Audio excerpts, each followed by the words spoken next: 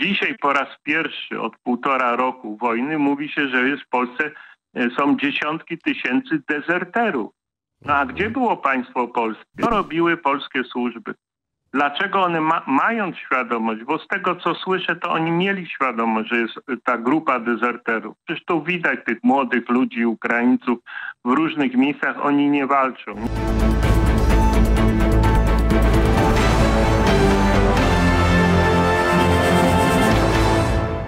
Dzień dobry, miło mi z Państwem e, zobaczyć w to wtorkowe popołudnie. Dzisiaj e, pierwszym gościem Wieczornego Ekspresu jest ksiądz Tadeusz Isakowicz-Zalewski, prezes Fundacji Świętego Brata Alberta. Witam, e, dzień dobry księże. Witam serdecznie wszystkich. Zacznę od e, tego, co w ostatnich dniach mówił, robił, jak e, komentowany był papież e, Franciszek. Potem też o polskim kościele porozmawiamy i o polsko-ukraińskich relacjach, więc jeżeli chodzi o papieża Franciszka, to cytat z jego przemówienia do rosyjskiej młodzieży. Nie zapominajcie nigdy o waszym dziedzictwie. Jesteście dziećmi Wielkiej Rosji, Wielkiej Rosji Świętych, Wielkiej Rosji Piotra I, Katarzyny II, tego wielkiego imperium. Nie rezygnujcie nigdy z tego dziedzictwa. U nas burza wybuchła po tych słowach. Nie niemal słusznie? Tak, jest mi to bardzo przykro komentować, dlatego że papież jeszcze bardziej poszedł e, w tym kierunku, bo w Mongolii wychwalał imperium krwawego Dżingis Hana. O ile jeszcze sprawę rosyjską można tłumaczyć, przynajmniej tak papież się tłumaczył, że się przejęzyczył, co innego miał na myśli, no takie dość, przepraszam, że to powiem, pokrętne tłumaczenie, ale jeszcze tam można próbować coś wyjaśnić. Natomiast e, wypowiedź w Mongolii o Dżingis Hanie, który przecież zniszczył chrześcijaństwo e, w wielu krajach Europy Wschodniej, to on spalił Kijów, podbił Ruś Kijowską, zniszczył wiele księstw e, ruskich, zaatakował Polskę, słynna bitwa pod Legnicą, w której zginął książę piastowski Bo, e, Bolesław Pobożny. 1241 rok. na Węgry. No i ta niekończąca się ilość krwawych e, wypraw e, Mongołów, później Tatarów na ziemię chrześcijańskie. No i papież mówi znowu jeszcze gorzej. Mówi o imperium, używa świadomie słowa imperium, no i chwali to imperium. No to się kompletnie nie mieści, nie tylko w faktach historycznych, ale nie mieści się w takim podejściu, kto jest agresorem, kto jest ofiarą i w takim błędnym chyba pojęciu, że poprzez pochwały można sobie zjednać przeciwników. No to jest e, zdaniem księdza nie wiem, ignorancja może, jeżeli chodzi o Europę, kontekst kulturowy, historyczny, e, czy to jednak e, zupełnie inne rozumienie i jakieś pomieszanie pojęć, no, błędy, jeżeli chodzi o ocenę, o wartościowanie tego wszystkiego? Trzeba pamiętać, że każdorazowy biskup Rzymu, czyli Ojciec Święty, spełnia dwie funkcje. Jest głową Kościoła katolickiego i szefem państwa watykańskiego, no, która ma zaledwie tam 44 hektary, ale jest e, reprezentowane we większości krajów na świecie przez swoich ambasadorów, czyli nuncjuszy apostolskich, również w Polsce. I e, właśnie ambasadorowie przygotowują taką wizytę, a więc e, nawet jeżeli papież sam się nie orientuje, no nieraz trudno, żeby się we wszystkim orientował, mhm. jaki jest, jaka jest historia i tradycja danego państwa, no to od tego jest ambasador, od tego jest nuncjusz. Natomiast y, to nie jest pomyłka wynikająca z niewiedzy, bo trudno sobie wyobrazić, że wykształcony w zakonie jezuitów, bo kardynał Bergoglio, zanim został papieżem, był e, jezuitą. Jezuici mają bardzo długotrwałą E, formację. Nieraz ona trwa 10 czy 12 lat. No i trudno uwierzyć, żeby on nigdy nie słyszał o Dżingis Hanie czy o Rosji carskiej. Więc on wie o tym, ma świadomość, natomiast przyjął taką taktykę, że stara, sobie, stara się zjednać um, spadkobierców tych imperiów i równocześnie niestety traci tych e, wiernych, którzy dla których to jest nie do przyjęcia, no bo przecież to nie tylko w Polsce, ale w wielu krajach. Dżingis Khan jest symbolem do dnia dzisiejszego straszliwych okrucieństw. Tu jeszcze dodam ten wątek ukraiński, że w jednej i drugiej wypowiedzi papież e, pośrednio oczywiście odnosi się do historii Ukrainy, no bo przecież Ukraina najpierw została zniszczona przez Dżingis Khana, a później znalazła się w Imperium Rosyjskim w wyniku podbojów. No więc w chwili, gdy Ukraina prowadzi wojnę, o, e, walczy o swój byt niepodległy, no nagle jest tak jakby z boku, z flanki zaatakowana przez papieża Franciszka, który popiera tych, którzy niszczyli w historii e, tożsamość Ruś, e, Rusi Kijowskiej, do której się odwołuje przecież większość Ukraińców. No to te historyczne sprawy sprzed ośmiu wieków szczególnie możemy na bok odłożyć, ale bardziej dziwi brak wrażliwości jednak i takie no, zastanawiające z naszej perspektywy podejście do rosyjskiej agresji na Ukrainę. Jeżeli tutaj o, o tę historię chodzi, to, to skąd to się może brać? Zdaniem księdza to może mieć związek z pochodzeniem papieża Franciszka, Argentyna i w sensie w tym dwubiegunowym świecie sprzed kilkudziesięciu lat E, Ameryka Łacińska e, często opierała się, często opowiadała się po tej drugiej stronie niż my. Tam no, ten wolnościowy kierunek e, to jednak był często kojarzony z lewicą, a opresja z prawicowymi władzami. To stąd mogą wynikać te różnice i inna zupełnie ocena Rosji chociażby? Oczywiście pewne spojrzenie Argentyńczyka, emigranta E, potomku emigrantów włoskich e, może być inne niż na przykład spojrzenie papieża Jana Pawła II czy Benedykta XVI, e, no, którzy byli Europejczykami, którzy znali z autopsji choćby reżim niemiecki, hitlerowski i reżim komunistyczny reprezentowany przez Związek Radziecki. Co jednak nie zmienia faktu, że oni, ci poprzedni papieże, w żaden sposób imperiów jako imperiów nie pochwalali. Mogli nieraz tam błądzić w pewnych mhm. swoich wypowiedziach, e, ale imperium, samo słowo, które używa papież Franciszek, jest zaprzeczeniem dotychczasowej doktryny katolickiej, bo przecież imperia z założenia, niezależnie jakie to będą imperia, wiążą się z podbojami, z deptaniem praw różnych narodów z agresją. No w wypadku jeszcze Dżingis Hana to jest niszczenie chrześcijaństwa jako takiego. W wypadku czarów rosyjskich to jest niszczenie kościoła katolickiego i Unii Brzeskiej, do której zresztą część na przykład Ukraińców odwołuje się, zwłaszcza grekokatolicy. Więc no, tutaj papież moim zdaniem prowadzi bardzo niebezpieczną politykę. Jest tu bardziej politykiem niż duchownym, który w jakiś sposób, no, trudno mi nawet wytłumaczyć w jaki sposób, uwierzył, że poprzez takie pochwały dla imperiów, odkręcanie e, tego całego e, świata, znaczy tego podejścia do imperiów, e, może coś zmienić. Ja go rozumiem, że jako jezuita jeszcze z Ameryki Południowej jest źle nastawiony do imperium amerykańskiego, no używając już takiego słownictwa, no tak. ale przecież to nie znaczy, że ma popierać imperium carów rosyjskich, więc to powiedzmy sobie, że wszystkie imperia są złe, a nie, że jedno jest lepsze, drugie gorsze. Zresztą to jest cała seria wypowiedzi papieża Franciszka, choćby taka, że um, najbardziej też szokująca, że użył takiego określenia, moim zdaniem bardzo świadomie, że to NATO, NATO jako organizacja Czekało, tak? czekała mhm. pod drzwiami Rosji, czyli stoi po stronie Rosji.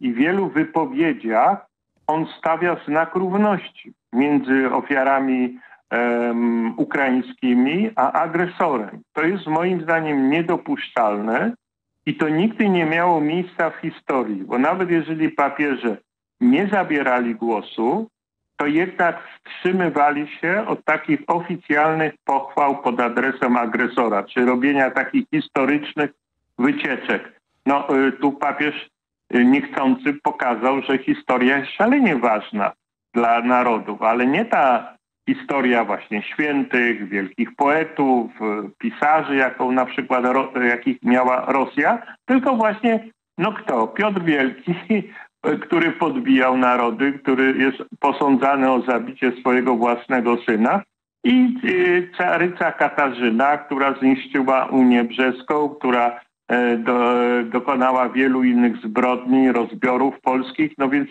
on używa tutaj nie przez przypadek imion tych ludzi, e, tak jak Dżingis Hana, tylko jakby świadomie pokazuje, że być może uda się w ten sposób załagodzić pewne spory, no i później nie, można po, po, tak powiedzieć, że ci w czasie II wojny światowej, bo myślę, że wcześniej czy później papież pojedzie do Niemiec, no to wtedy aż się boję, co on tam powie, bo on wtedy powie, że SS i, i żołnierze, którzy walczyli po stronie aliantów, to wszyscy byli tacy sami, tak? No, no to są rzeczy, które powodują, że autorytet nie tylko Ojca Świętego, ale całego Watykanu jest e, e, pod znakiem zapytania. I, I tego nie można tłumaczyć, że jest z Ameryki Południowej, czy jest jezuitą. No to tym bardziej.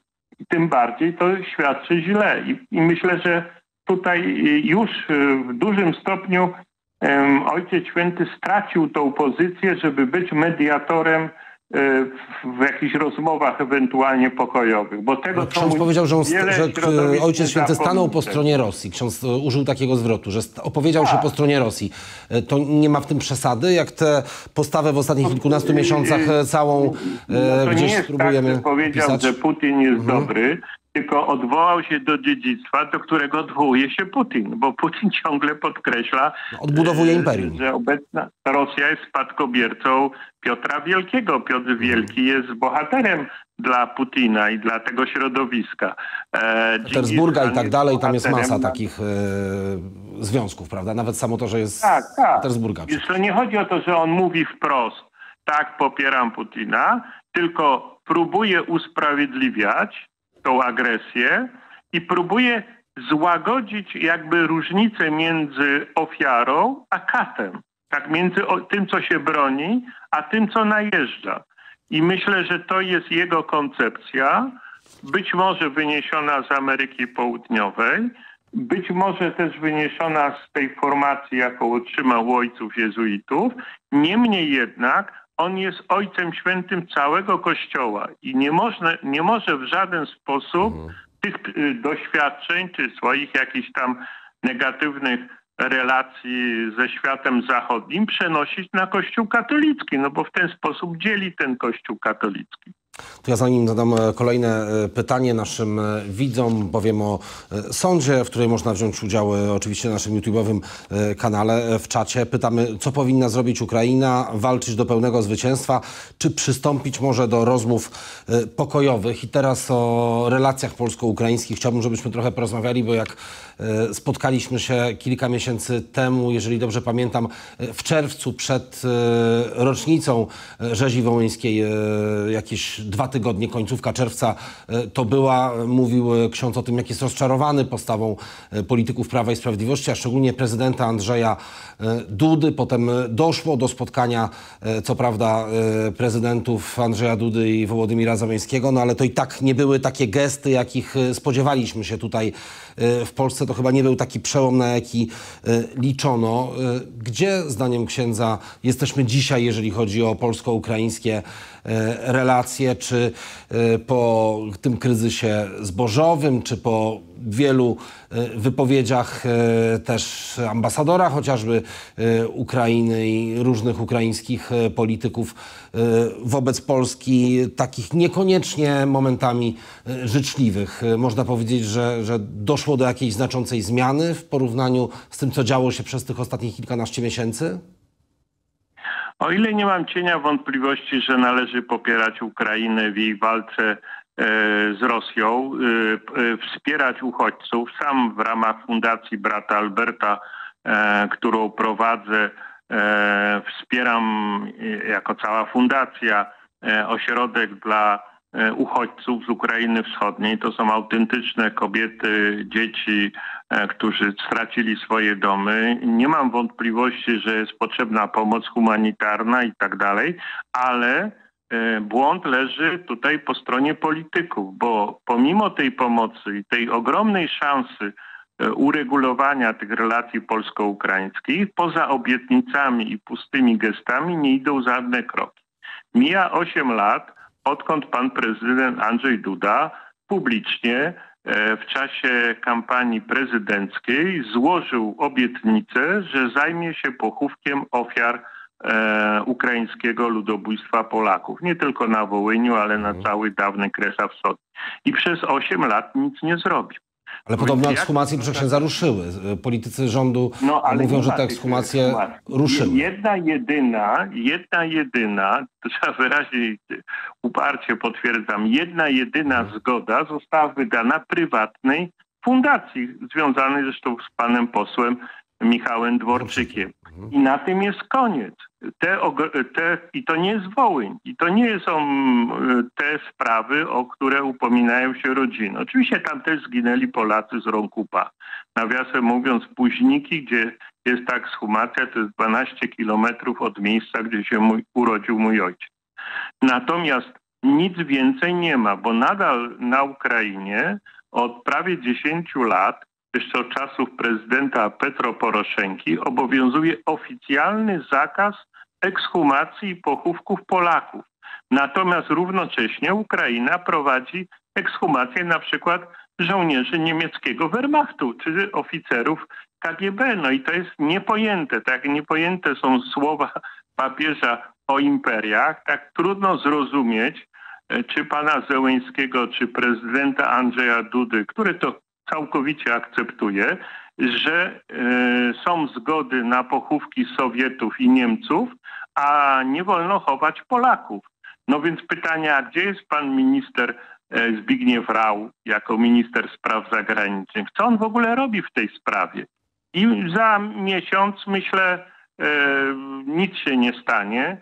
Rodziny zostały odepchnięte po raz kolejny przez e, pana prezydenta, który zresztą boi się do dnia dzisiejszego spotkać z rodzinami, odmawia takiego spotkania.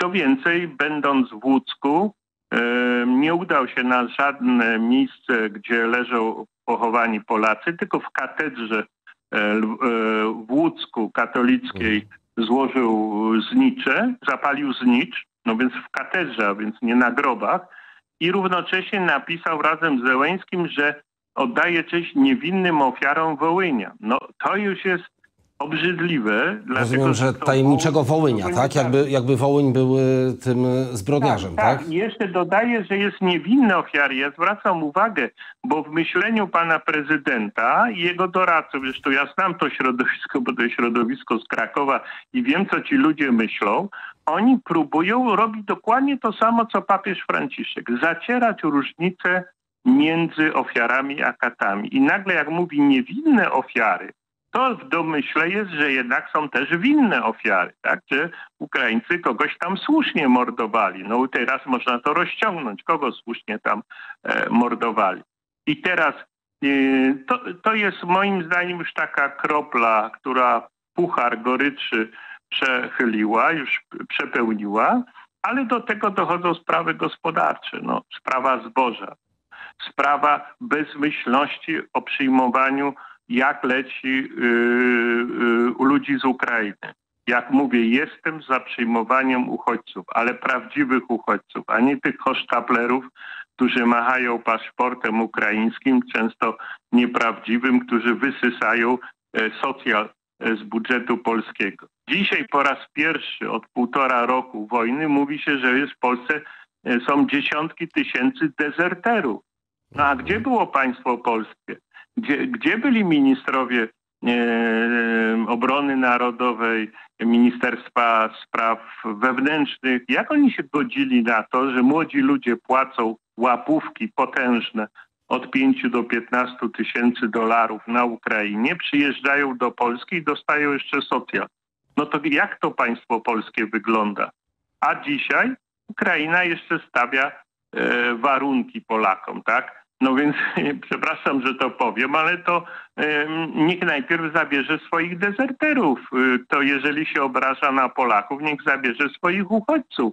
A nie bez przerwy tak, że to Polska ma ustępować, ustępować, kłaniać się, przepraszać, dziękować i tak dalej.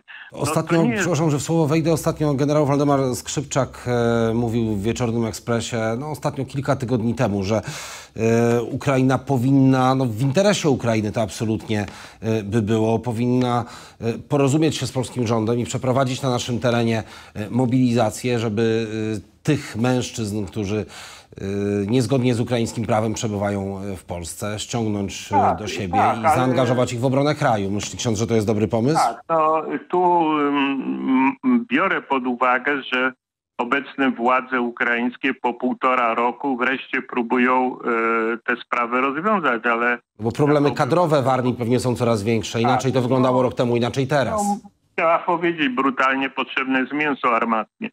Natomiast e, od strony polskiej, no, no właśnie, co robiły polskie służby? Dlaczego one ma, mając świadomość, bo z tego co słyszę, to oni mieli świadomość, że jest ta grupa dezerterów. Przecież tu widać tych młodych ludzi, Ukraińców w różnych miejscach, oni nie walczą, nie, nie, nie biją się za swoje ojczyznę. Spokojnie sobie tu czas spędzają, jeszcze dorabiają i tak dalej. Część została po prostu, bo, bo przecież Tak, no e, to setki tysięcy, czy wrócić. nawet więcej osób było Wrócić. przed wybuchem wojny. To nie wszyscy przedostali się tak, nielegalnie ale do no Polski. nie wszyscy. Niektórzy wjechali do Polski po, e, po lutym zeszłego roku. No tak, także przez zieloną granicę był spory ruch podobno. Tak, no więc tutaj myślę są błędy po stronie polskiej ogromne. Natomiast wbrew pozorom, że jest tak pięknie, no widzimy te obrazki, jak pan e, prezydent jeden z drugim się obejmują, całują, no, no jak dwaj przyjaciele od kołyski, że to jest tylko pewna ułuda, bo te relacje są bardzo trudne i to nie jest kwestia tylko kampanii wyborczej, że nagle teraz y, rząd polski sobie przypomniał o tych dezerterach, ale y, chodzi o to, że to powinno się ułożyć na zasadzie partnerskiej. Coś za coś. My opiekujemy się uchodźcami. Jeszcze raz podkreślam, ogromna grupa e, kobiet, dzieci, ludzi starszych, która ucieka z Ukrainy wschodniej, to są prawdziwi uchodźcy. Im trzeba pomóc. Jestem za tą pomocą. Rozumiem, że Na- bezwarunkowo w tym można- wypadku, tak? Tutaj ksiądz nie mówi, że e, pomóc e, kobietom, dzieciom też za coś. Ta pomoc, jak rozumiem, e, może być bezwarunkowa, Tak, czy też... no, pomagać trzeba. Ja jestem za pomocą. Sam się angażuję w tą pomoc i uważam, że to jest bardzo potrzebne. Jest pytanie, na ile budżet polski jest w stanie to wytrzymać, ale pomagać trzeba. Natomiast no, nie, mło, nie młodym ludziom, którzy się włóczą po ulicach i mówią, że oni, e, oni tutaj sobie c- spędzają miło czas w czasie wojny.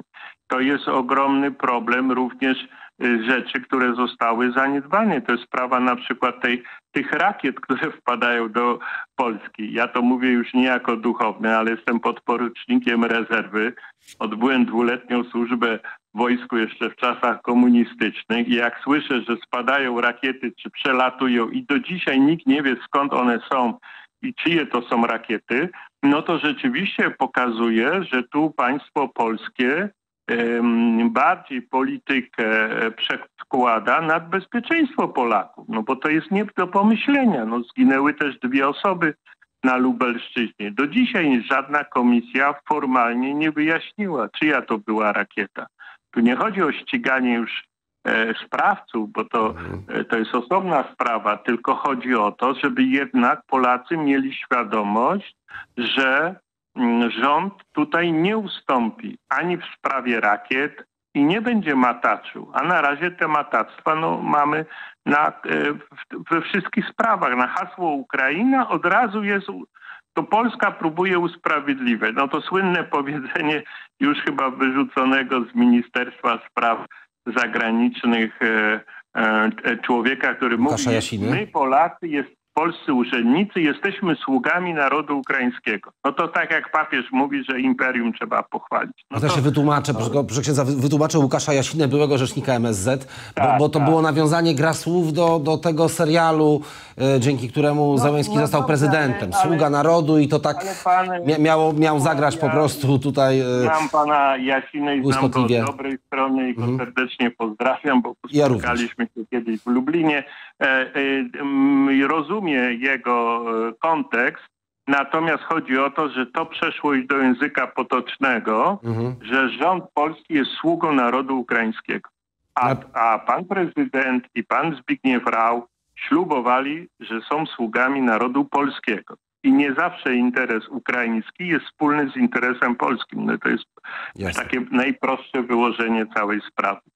A jeżeli chodzi o Łukasza Jasina, to paradoks e, sytuacji polega na tym, że w końcu e, stracił stanowisko rzecznika Ministerstwa Spraw Za- Zagranicznych za wypowiedź antyukraińską, bo e, No, powiedział, właśnie- że, że prezydent Załęski powinien przeprosić za Wołyń i za to stracił stanowisko, prawda? Tak, rewolucja zjada własne dzieci. Ja przypuszczam, że ci najbardziej tacy fanatyczni, że oni dla Ukrainy to by oddali życie i cały, e, cały budżet polski przerzucili na Ukrainę, to myślę, że oni w pierwszej kolejności polecą, ale to mówię już tak bardzo kolokwialnie i proszę mnie tutaj nie traktować jako osobę, która komuś źle życzy, ale myślę, że to takie bezmyślność e, że my mamy służyć innemu narodowi, a nie polskiemu, no pokazuje, że e, te osoby no, w jakiś sposób później tracą te stanowiska. I paradoks pana Jasiny jest myślę taki klasyczny.